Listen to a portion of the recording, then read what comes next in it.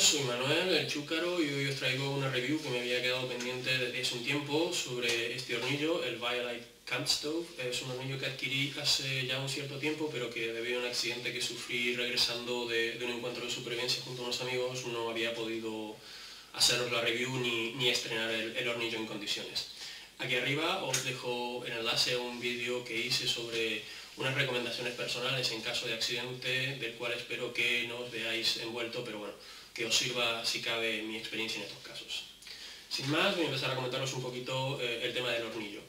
Eh, como comentaba hace poco a unos amigos, yo lo adquirí porque me gusta tener varias opciones para, distintas situaciones. Yo hasta ahora estoy generando energía eléctrica en el monte, eh, en el campo, cuando salgo por ahí en los cursos o en escapadas, con el Power Monkey Extreme. Es un sistema pasivo de generación de energía eléctrica del cual aquí arriba tenéis eh, el enlace a un vídeo que hice sobre, sobre una review sobre este, este, dispositivo. Va muy bien, yo lo utilicé en, en, la cero y me dio muy buen resultado.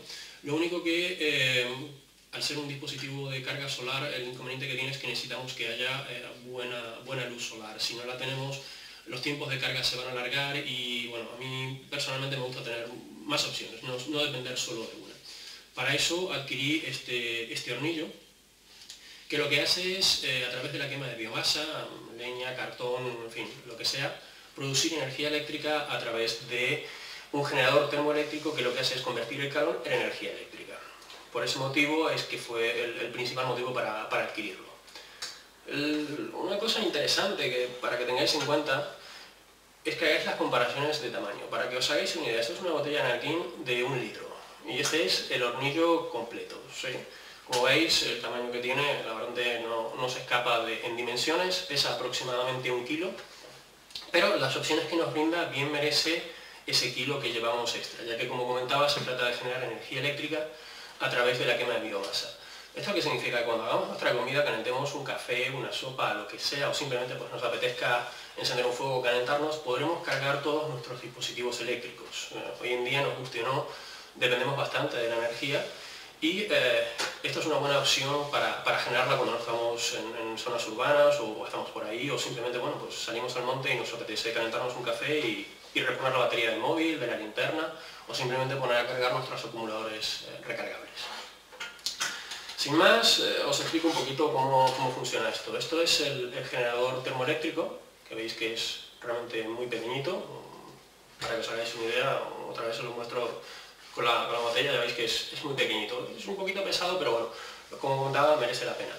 Esto tiene aquí debajo una salida USB que tiene dos funciones. La primera es eh, para las primeras veces que utilizamos el, el, generador o si lleva mucho tiempo parado, poder cargar la pila interna que tiene para que el ventilador tenga una energía residual para poder empezar a trabajar.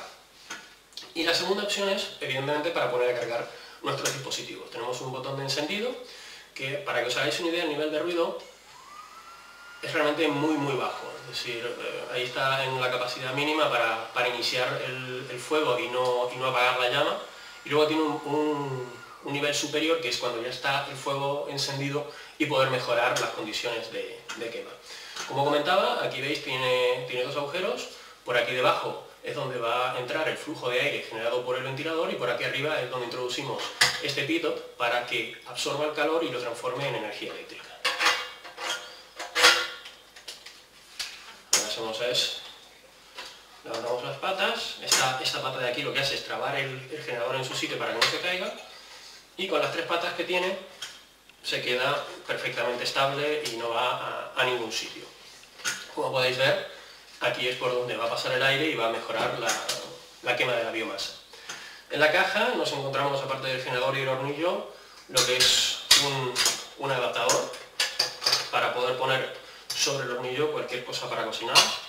Aquí tenemos para, una taza de café para calentarnos, un plato o, como yo suelo utilizar, varios, un caso más grande para, para cocinar los alimentos. Además de eso, tenemos evidentemente nuestro cable cargador para cargar, como comentaba antes, la batería interna del generador o para poner a cargar nuestros dispositivos. Y por último, un paquetito de Yesca que nos suministra BioLite para poder eh, iniciar nuestros fuegos y, demás. También una de las cosas que recomiendan es utilizar la propia caja del hornillo para, para cocinar, para, para reducir el nivel de, residuos.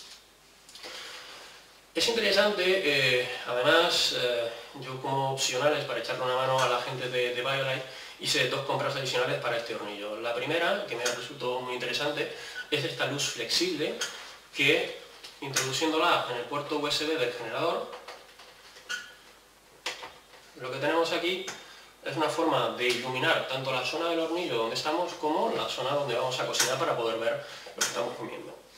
Además es interesante comentaros que esta luz flexible, aparte de pesar muy poco y, ser flexible, por lo cual es bastante, bastante útil, eh, funciona con cualquier pila de estas de, para cargar los smartphones que andamos usando por ahí, que llevamos siempre encima. Pues eh, yo lo he probado y la verdad que va muy muy bien.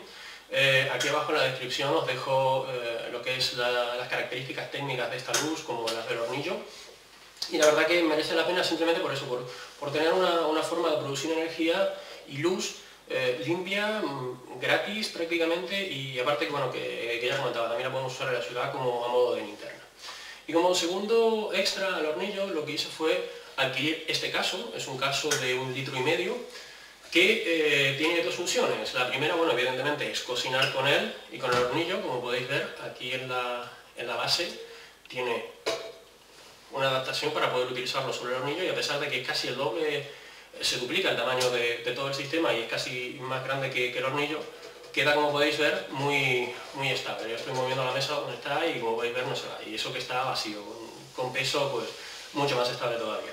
Y la segunda, la segunda opción para lo que está, está pensado el, caso es para proteger el hornillo en el transporte. lo que hacemos es, sacamos el hornillo, nos viene también con un pequeño platito de plástico, colocamos el tornillo y la tapa, como podéis ver, eh, no se puede utilizar para beber, para eso está el, platillo, porque tiene aquí un, pequeño agujero que como podéis ver sirve para proteger el pito del, generador.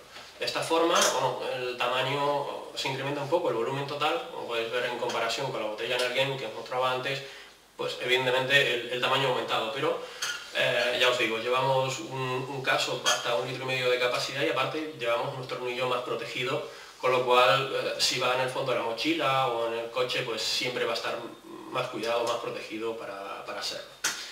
Y quizás el último motivo por el cual eh, yo adquirí este hornillo es porque eh, Violite es una empresa radicada en Estados Unidos, fundada por gente joven que tiene, aparte de, su negocio empresarial, tiene, tiene una misión con la que yo comparto por lo menos sus ideales, esperemos que se pueda llevar bien a cabo, y es facilitar a la gente en zonas subdesarrolladas eh, el acceso a la energía eléctrica. Es decir, no solo se trata de que los que nos gusta el monte, preppers, survivaleros, eh, campistas, eh, amantes de la naturaleza puedan producir energía eléctrica en el monte, sino que son gente en zonas donde realmente no hay energía eléctrica, como puede ser partes de África o, partes de Asia, o, mismo en algunas zonas de, de Latinoamérica más deprimidas, como puede ser eh, tal vez las zonas de, la Amazonía donde la energía eléctrica es muy difícil que llegue, pues de esta forma eh, Violet lo que hace es contribuir a que esta gente tenga energía eléctrica para poder tener luz, poder cargar eh, sus dispositivos que puedan llegar a tener, como pueden ser teléfonos móviles, que, me parezca mentira, por lo menos yo he podido comprobar que, en África los suajilis viven en sus cabañas como antaño, crían sus vacas y llevan teléfonos móviles, cosas de los humanos. Pero bueno, no me enrollo con eso, quería comentaros simplemente eso, que, lo que hacen es facilitar que la gente eh, tenga acceso a energía eléctrica y aparte que la cocina de, sus alimentos no se convierta en un problema a largo plazo, ya que como comenté al principio del vídeo, al reducir el nivel de humo y mejorar las condiciones de combustión, la gente que cocina dentro de esas pequeñas cabañas o, que está al lado del fuego va a aspirar muchísimo menos humo. Eso significa que van a reducir muchísimo más eh, los problemas bronquiales y las enfermedades respiratorias. Por ese motivo fue que eh, me decidí a, echarle una mano a esta gente de, de BioLite y, aportar mi granito de arena. Así que, bueno, sin más, para no enrollarme más de la cuenta y que el vídeo se haga muy largo, eh, quiero comentaros que las pruebas de campo del hornillo estarán aquí arriba en un vídeo en cuanto pueda salir y, hacer las pruebas como, corresponde, ya que como habéis visto está, está impoluto. Así que sin más, eh, me despido y como digo siempre, nos vemos en el próximo vídeo.